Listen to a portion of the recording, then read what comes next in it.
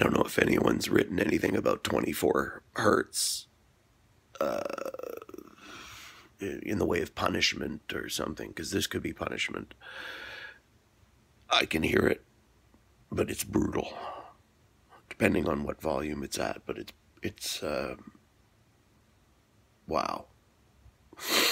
I think this would make a person insane in less than 12 hours, possibly.